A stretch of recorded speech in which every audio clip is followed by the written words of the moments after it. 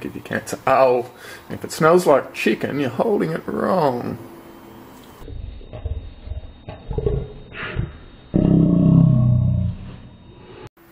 G'day. Today I'm going to have a quick look at fixing, doing a mod to my hotbed on my 3D printer, which should hopefully help out my hotbed stay hot and help out this ATX power supply with maintaining its 12 volts on the 12 volt output. Now what's been going on here, I try and do a print like this, the print's broken at the moment so I'm fixing stuff while it's, I'm waiting for parts, but um, yeah, the, I'm printing away and the bed gets cold and the part comes unstuck and your print's over, you know, like that's only a quick print, but if it happened 30 hours into a 40 hour print, you'd be pretty annoyed. And what's been going on, um, these ATX power supplies, as you can see, I've got all these light globes down here when I turn it on. And they're, they're 12 volt light globes hooked up across the 5 volt rail because these power supplies are designed to put out 45 amps on the 5 volt rail to run the CPU in your computer. And also put out a lot on the um, 3.3 volt rail, 223 amps. It's mainly the 5 volt rail you want to dummy load, that's what your CPU runs on. And it's usually drawing like 20 or 30 amps as soon as you turn your computer on. Um, so that's why I've got all these loads down here. I've got a big fat 1 ohm resistor, that's actually on the 3 volt rail just in case. Um, and I'm sitting here thinking the hotbed's getting cold because it's drawing too much current because it's only running on 11 volts when everything's powered up and the hot end's running and the motors are all running and the little fuse here it gets too hot and it triggers and then the hotbed gets cold and then the print fails and drama, drama, drama. So I'm thinking all this stuff's making heat and I want more heat over here and I need to be making more heat to get this to work better. So Let's see if we can do something about fixing all of that at once. So, we want to make a dummy load that heats our bed and dummy loads our ATX power supply, such as that one, um, on the 5 volt rail, so that we can kill two birds with one stone with 3D printer. Now, we've got a few problems here we need to consider. Now, it'd be easy just to whack a heap of resistor wire, that's from a toaster. We've got some hairdryer element here. If you have fuse wire around, that is also resistor wire. What all these things have in common is that they have a consistent resistance over a given length. So right here I've taken my measuring device and I've marked out 100 millimeters, 10 centimeters, and I set my multimeter to the ohms range and I carefully measure. And I actually got a reading, the lowest reading I got was around 1 ohm, 1.2 ohms, there we go, and that's off camera. Silicon. But anyway, you get the idea. We've got about an ohm per 100 millimeters, and it is actually important with this resistor, this is out of toaster, if it's being used it'll be covered in oxide and stuff, you won't get a good connection with your probes as you just saw there. You do have to sand a couple of patches where you want to take a reading. Then you'll get better numbers um, that are more consistent and stable and it's not jumping around every time you move the meter. Um, so I can straight away start doing some calculations there once I know the ohmage per um, centimetre or metre or whatever unit, inch, whatever unit you want to use. You can work out basically how long you need to go over 5 volts, you just divide your voltage by your ohmage, it'll tell you how much current's going across it. You take that current, you multiply it by the voltage, and that tells you how much wattage of heat's being dissipated. But then you've got to convert that to the degrees, and that's a big problem, because what happens? If we heat this up too much, like say I get a bunch of these 10 watt 1 ohm resistors that you should test, always test these guys, because they don't actually test to what they're labelled for. Look at that, that's a 1 ohm resistor and actually tests 1.2 ohms. So anyway, if we put a heap of these under there at 5 volts, it's going to work out too hot. Um, because I might want to print with PLA. And you only want your heated bed heated up to about 50 or 60 degrees for that. So I want a maximum heat coming off this heater of 50 degrees Celsius. So that's where my other multimeter with the K-probe thermocouple comes in. Now you don't have to use something so fancy, any thermometer will do. But what I'm doing is I'm going to go and use my use my fancy old power supply here because I have one. If you don't have one, you can use your multimeter on the amps range, put it in series with your ATX on the 5 volt range so you can see how much current you're drawing because you'll want to know that later, and just start doing some experiments. Uh, clip I should have got that prepared earlier. you grab your clip leads and you run them off your power supply thingy.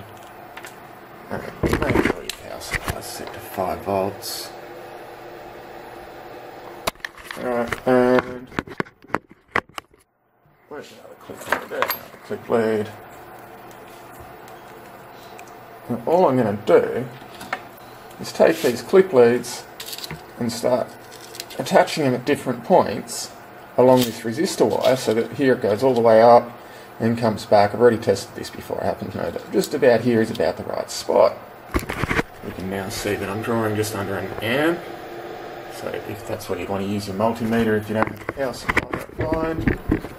And we can grab our K-probe, that's had enough time to reach whatever heat it's going to reach. Watch out for plastic bits that might melt if you get too hot. And we can try and take a reading here. Be careful not to burn or zap yourself. Oh, look at that, that's beautiful. Where's my backlight going? Uh, it doesn't look like we've got a backlight on this meter anymore. That's sitting at about 39 degrees C, so we could go a tiny bit warmer. So I'll move this up a bit. And I'll keep playing around with this until I do find the right temperature. I'm really aiming for about 50 degrees C here. And if I put, I can put as much of these as I like under there that get to 50 degrees C, and my heat bed will never get over 50 degrees C. So I don't need to worry about PWMing this because it's a dummy load, and if I PWM it, it's going to play havoc with the voltages everywhere else. This has to be on all the time whenever the printer's working. So it can't be too hot, but we do want to dissipate as much current as possible.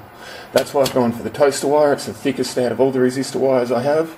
So it'll actually generate the least amount of heat for the most amount of current being thicker. Uh, it's just a better conductor. It'll have the least amount of ohms per meter is what you're looking for here.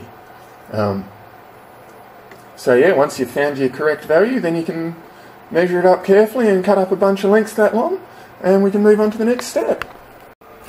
Okay, quick little note before we move on to the next step. Um, I've just left this running for a few minutes and come back and I remembered a vital thing. Look at that current, it's gone up. Thermal runaway. As things, resistors get hotter, their resistance can change and we can start pulling more current. So that was only getting to 43 degrees when I left it. Now we're getting over the temperature I wanted. So that might be a slight problem. I'm going to have to shorten the length I was going to use a little bit to account for that. But um, let's do an experiment, let's see how it goes.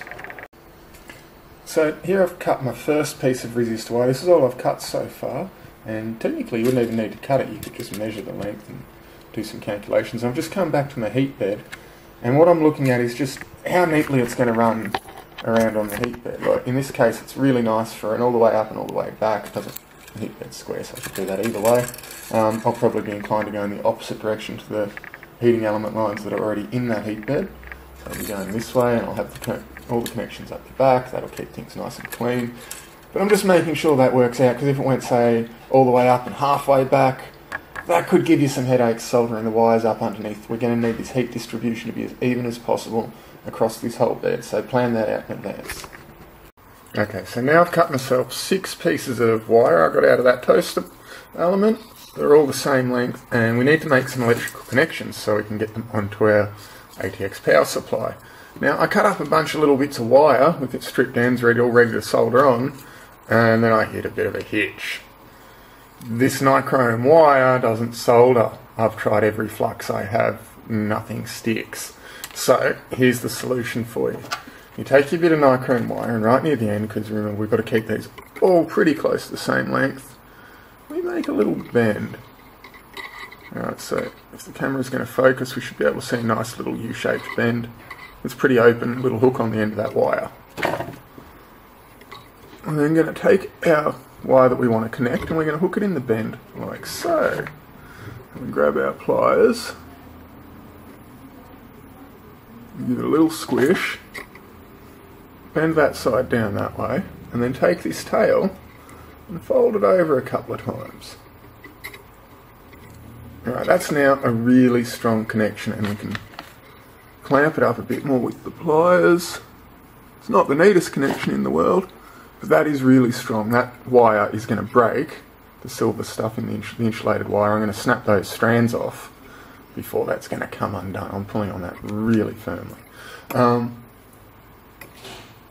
so now we just need, look out for sharp bits, I just stabbed myself. I'll squish that down a bit better. There we go. Now that's going to be a bit of a pain in the butt if I've got all these messy connections like that, if the camera wants to focus. So what I've got for a solution there is, where did it go? Some of this stuff. Heat shrink. I grab my little snippers and I chop off a short piece. And I'll get my hot air gun fired up. And it wants to be asleep. I'll just chuck that there for a sec. Make sure it's not blowing at anything, that it's going to melt. And I'm going to put my heat shrink on here. Now you don't have to use a hot air gun like me. You can use a cigarette lighter, a blowtorch, or anything that's hot. This heat shrink only needs to be heated a bit over 100 degrees. And you'll see what happens. If I can like, do it on the screen, that'd be helpful, wouldn't it? There we go. Shrinks up all beautiful. Because we're not getting this heating element super hot, that'll be fine.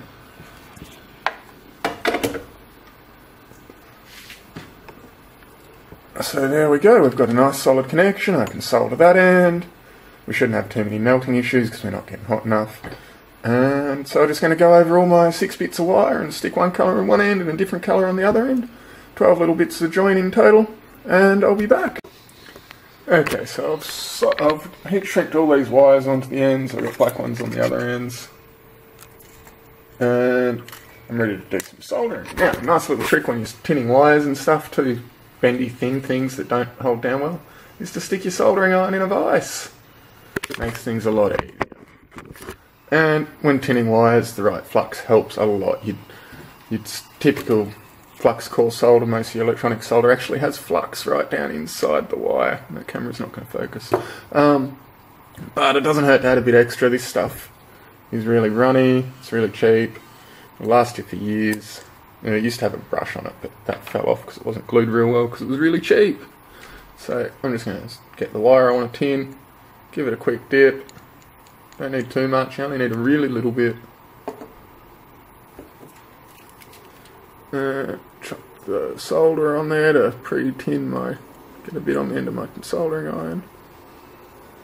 There we go, don't breathe that smoke, it's really bad for you, it'll give you cancer. Oh, if it smells like chicken, you're holding it wrong.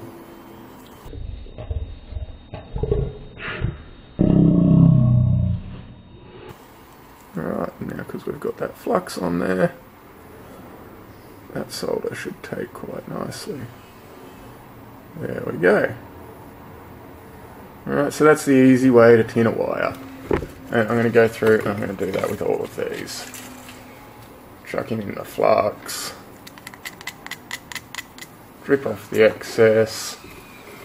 Don't hold the hot part of the soldering iron, no matter how much you want to rest your hand there. Um, you know, the heat's gone through your bit of wire that you're trying to solder when you can melt the solder on the other side. And liquid solder does help with the thermal contact and does help with the heat transfer. There's a big cluster of wire, so it's soaking up the heat. I might just bump my soldering iron up a little bit. I was running at 380, went out oh, 396 Celsius, that is. There we go, that's better.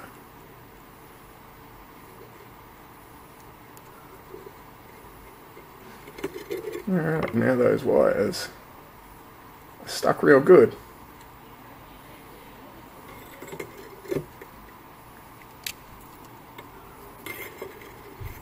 Alright, so I'm going to go and do the rest of that so you guys don't have to watch the boring bits and we'll be back at the next step. Okay, so I'm halfway there. I've got half my wire, nichrome wire taped down, but I've been having a few problems. I was originally going to tape the wire directly to the bottom of the heat bed, but I had some thermal runaway issues that we brushed across before, and also I didn't get those wires cut as evenly to length as what I was hoping for, so some of them have a slightly different temperature. Don't get that K probe on there. This one's only 75. This next one, the third one, is going to be about 85. So I've got 5 to 10 degrees of temperature variation across each line. Now that might not be a big deal the way I've tried to do it, sticking everything down to the under um, base here because I've got my screws and my springs and stuff and there's a bit of an air gap there so that heat's going to rise up and airflow from the fan and everything. It's probably going to keep me under the 60 degrees. I want to keep this part of the heater down too so that the heat bed can PWM itself and control its temperature more precisely at the range it wants to be in. But I've got that heated up, hooked up now as you see it's hot and I have my 12 volt rail hooked up to this meter here. And now before when I ran my extruder heater and my heat bed heater at the same time I was dropping down to 11.07 volts. Now I've just turned my extruder heater on. You can see there's hardly any change there. And the big one let's turn the bed on. And we'll wait for a sec for the power supply to hit the load. And there we go. That is a significant improvement and I've only got half of it down so this is going to work, but it does need some refinement. Uh, this Kapton tape does not stick to the wood. It sticks to the heat bed okay, plastic surfaces, but it doesn't stick to porous surfaces that have stuff that peel off. Um, what's going on there? Oh yes, my thermoresistor is not taking readings. So Pronterface or the printer, one or the other, just killed the heating process because it wasn't seeing a thermal measurement. But anyway, I think we've got a good idea of what's going on here. I can run this extra heat down here. It's a dummy load. I'll hopefully be able to get rid of some of those lights over there and some of that extra heat wastage where I don't want it because those lights are really serving no purpose. Um, yeah, I'm probably going to look at to keep that wire stiff. Maybe I could use the corrugations in some cardboard and maybe feed it through. This cardboard's probably a bit fine. It'll be really hard to get it through there. But we're going to need some way to keep these nichrome wires, fairly stiff and straight and evenly spaced. And I'm probably going to have to adjust my gauge a little bit because this gauge of wire is not really working out that great with the bed. But you should have enough information here to try around with this yourself. It is an experiment I wanted to try. It does appear that it's been quite successful. Um, I'll do an update when I get it working properly and actually have a print happening. Thanks for watching. Okay, I've had some, done a bit more work, had a bit, a few experiments, had some setbacks, had some wins, and I think I've just about got this all sorted. So, first fail of the day, I didn't cut my wire evenly enough, and I get different temperatures on all of them, and they're all hotter than I want. This is one of the coolest ones on this middle one here. Um, it's running at 72 degrees, it's like 20 degrees hotter than I wanted. I'm not stopping at this point because I'm using ABS filament up here, and it's um, I can print with my bed hotter, but it might give me issues with um, PLA. So instead of sticking these wires like this, it comes up under the tape and then folds back. I was going to do that on the bottom of the heated bed back here, but it's too hot and it would give me issues printing with PLA, so I didn't. I tried putting it on here so that the heat would have to rise up and there'd be some airflow involved and drop the temperature that's uh, the effective temperature that's getting applied to the bed would be lower. Um, but it'd still preheat my bed for me and still allow the RAMPS board to PWM control it um, and it should hopefully work well, except Kapton tape does not stick to wood. This is just going to be a nightmare situation if I try and do it like that. So I needed something stiff and rigid to hold my... And my wire lengths weren't really working out very well for the bed size either. So I needed something stiff and rigid to secure my toaster wire with. So I wrapped it like a maypole around a bamboo skewer you know, these are the typical kitchen skewers that you would put meat and veggies on and then grill them. Um, I often use them for cleaning things and stuff like that as well, and construction around the lab. They're handy buggers, you should buy some. Um, bamboo's really good with heat, and it's a really good heat insulator, so that should work fine. We're not getting over 100 degrees C. These guys are designed for cooking. It'll take two or 300 degrees Celsius before they start to burn, and even then, they're surprisingly tough things. Um, so that should work fine. It's stiff, it's rigid, I can handle it and move it around. I've just disconnected all my wires. Um, and you can see there that voltage dropped on the 12 volt rail because I disconnected that. So let's get back to why we're doing this. Let's have a bit of a look. Alright, I'm going to leave that disconnected on one side. So the bamboo ones are now not connected. These ones are still connected and heating. I am now going to turn on my heated bed. And we're going to see what the problem was. Alright, just turn the heated bed on. There's a slight delay. And look at that, we've dropped to 11.46 volts on the 12 volt rail. Now there's a bunch of current, 10 amps or so, going through that heated bed back here. Now, watch what happens when I reapply half of my dummy load. And bear in mind, before I did this, that voltage was reading 11.07. So I've already got a significant improvement just for having 3 amps of extra dummy load. I'm now going to add another 3 amps of extra dummy load. And look at that, the voltage picked up.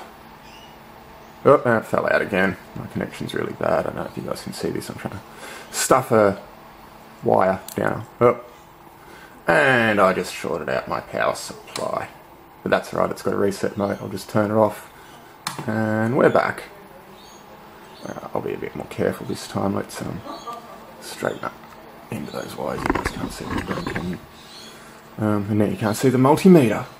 Anyway, let's jam that in there and hopefully not hit the 12 volt rail with the 5 volt rail that's connected to 5 volts at the other end. So didn't like it when I stuffed it in one of the strands, got across to the wrong voltage rail. That's why my power supply switched off. There we go, back in there. 11.62! And my bed is heating. That is a huge improvement to what I had before.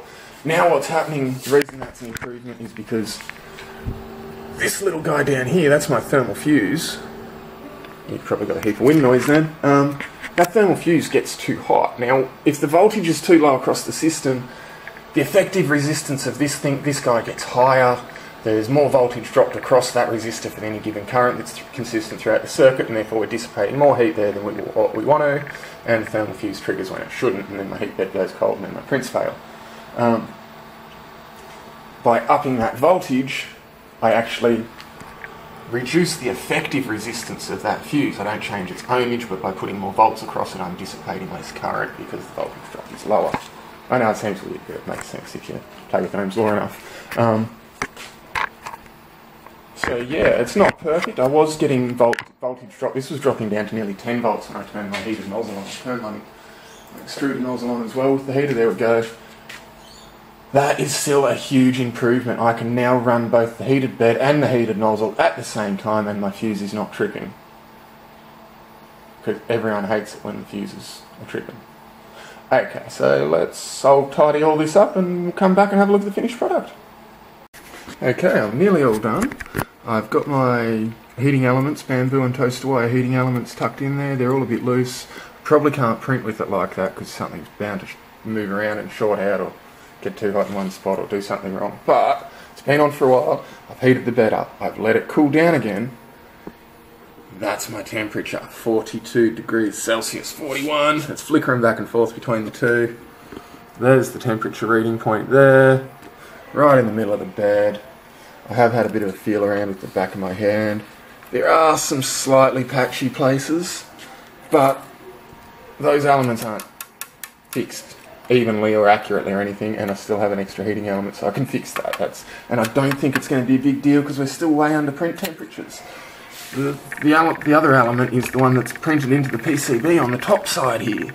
That's still going to get heated up, so any vari little variations not going to be a problem. That's just a preheater to dummy load that power supply. This is always going to be at that temperature whenever this printer's turned on now. And that is just so perfect. So, one last test to do is to fire up the hot end and the heat bed and see what happens to the voltage on my 12 volt rail and you will notice it's up a bit from what it was before. So I'm going to turn them on one at a time and I'll call them out as I do them. So heat on now and I'll take a moment. There we go. We can see that pulling that voltage down. That's the hot end heating up and the bed is going to go on now. And we're waiting for the reaction. It should drop some power. There we go. Look at that. It's not dropping all the way down to 11.05. It's still under 12, so that extra element here is definitely going to help improve that. And I'm still stuck with all those light globes over there until I get maybe a head high beam or something and chuck that over there. That'll fix the rest of it. The heat bed's heating. It's heating faster and more easily. The voltage isn't dropping. Is not getting so hot. I've also redirected my fan there to blow on it a bit, so hopefully no more failed prints. I should be able to print with my print fan back here on. And I've calibrated this all in and my new parts here. So I'm all ready to do some prints, and hopefully it goes well, and I might be able to chuck on a little scene on the end or a couple of screenshots, photos, or something. This video's probably getting too long, um, so I'd call this one a win. If you need a dummy load for your ATX and you have issues with the bed not being hot enough, or wanting a preheater for your bed, this is the mod for you. Thanks for watching. Oh, that worked great. Still haven't tied any of this stuff in. Yep, got two prints out as you can see there. First time printing that shape, first time in blue, first time with 0.4 nozzle for both of these. Everything went great. Um, this bamboo skewer toaster element bed mod is a winner. This one's staying for good. Thanks for watching.